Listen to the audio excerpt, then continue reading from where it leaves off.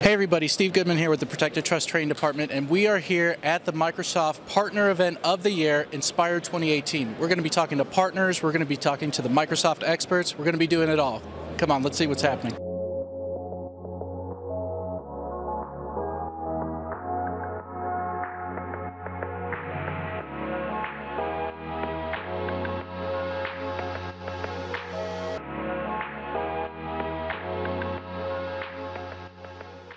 We're here at the Microsoft 365 Security booth, and we're talking with Matt Soseman today about Microsoft Security.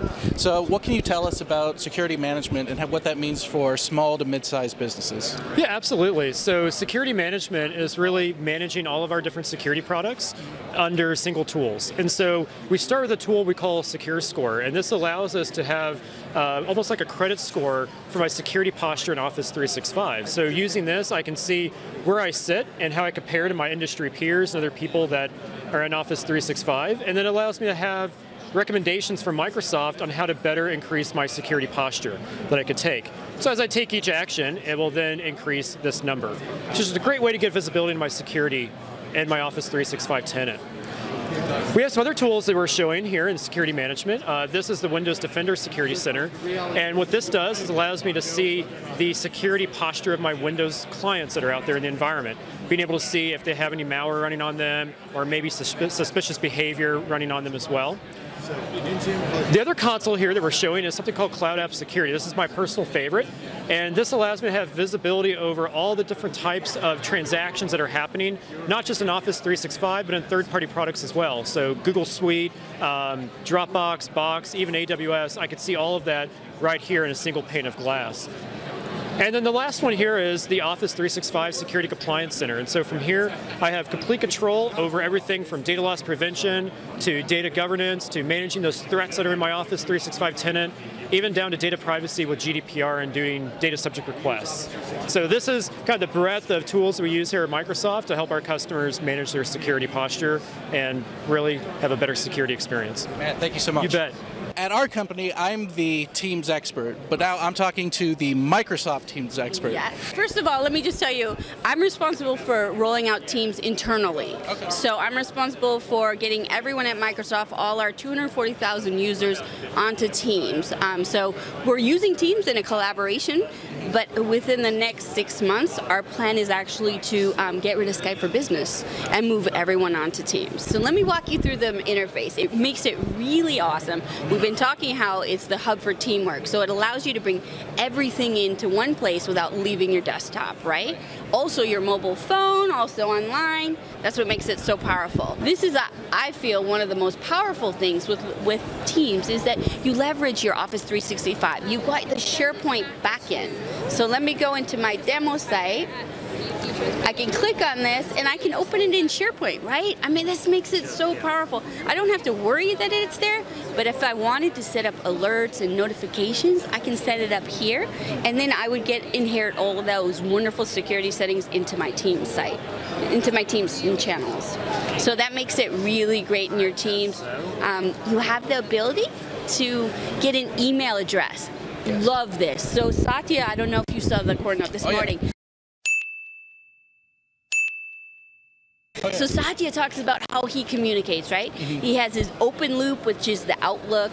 He considers his inner loop, which is Microsoft Teams, and then his outer loop, which is Yammer. Yes. So the way that we connect all three together, what we're doing is bringing in conversations from the open loop, from Outlook now, into the inner loop. So now conversations that are happening in silos maybe mm-hmm. can get an email address and forwarded to and they get pulled into teams and the conversation continues in teams mm-hmm. so now you've expanded it in your inner loop and there's more people involved in the conversation what makes it really powerful here at Microsoft Inspire, we're showing off uh, our integration with Microsoft HoloLens, yes. uh, which is the Trimble hard hat for Microsoft HoloLens, as well as some of our software, which is Trimble Connect for HoloLens. Uh, the application that we're showing here today is called Trimble Connect for HoloLens, mm -hmm. and it's a mixed reality application aimed at on-site construction use.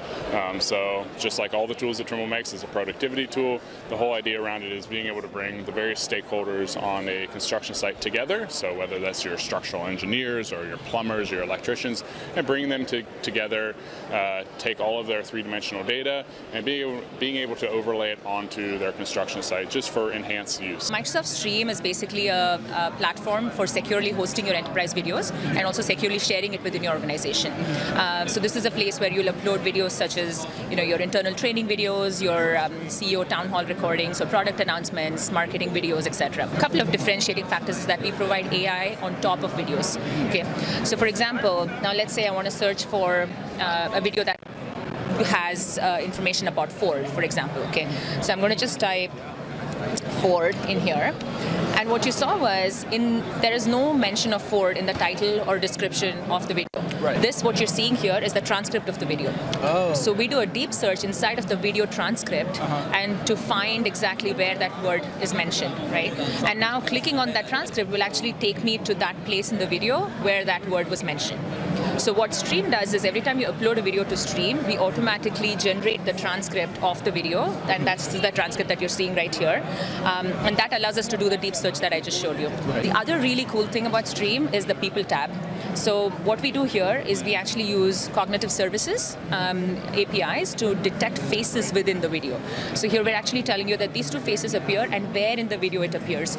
So for things like, you know, we watch a town hall that lasts for like three hours and you're like, I want to watch that specific point where this person came on stage and demoed something. Right. Um, and you can easily click on that point in the timeline and go, you know, exactly there. Joining me now is Brent Combest of One Commercial Partners. And Brent, you know, I saw your uh, YouTube video that you did at Inspire last year, or Inspire Ignite last year.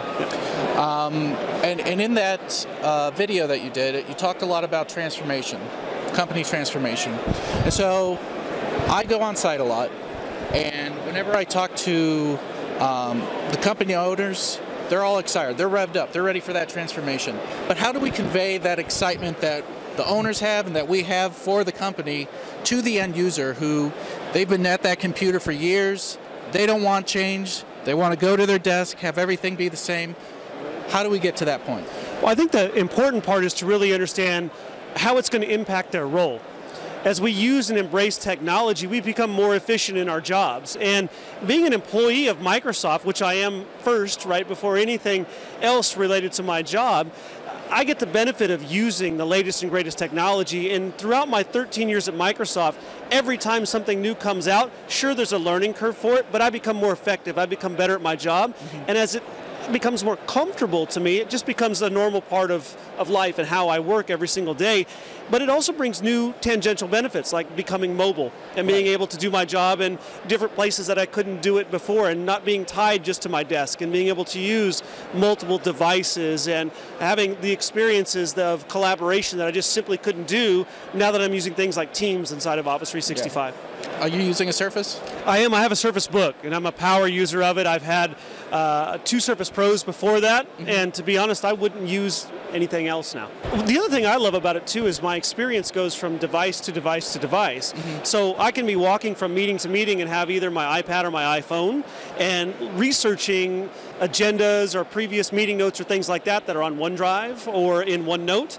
And then as I get to the meeting in our offices, we have not only our Surface Books, but we use the Surface Hub as well. Yes. And the way that we can collaborate is completely different now. And that's an evolution that's taken place in the last four or five years. And it's something that's made me more efficient, capable of doing more, and just being in more constant engagement with my team. And it, it, you're right about people using the technology and being more enticed or encouraged to come to work for you can be a competitive advantage, especially as you're recruiting folks that are used to using technology and embracing it. They want what's cutting edge. And that Yes. next generation that's starting to come into the workforce, they're demanding and requiring that now. Absolutely, absolutely. Um, you know, speaking of collaboration, uh, Teams. Teams on Surface. We believe at our company that is the perfect solution to offer to our customers. Are you using Teams? Hundred percent. So we've moved almost exclusively over to Teams. I'd say my email workload has probably been cut in half over the last year as we- as we've moved over. We've also taken Skype and all the meetings that we used to do and the chat that we used to do, and we've moved it into Teams as well. I conduct my weekly team call inside of the uh, inside of the tool today, and the quality of engagement on that is very, very rich. We use the video element of it as well, and my team's distributed across the country. I've got 30 people on my team. Mm-hmm. I'm the only one in Dallas, and so being able to see them face to face on the camera and real time collaborate using that, there's nothing else like Yeah. it. The collaboration, the video, the perpetual chat, mm-hmm. that alone has changed the way that we work.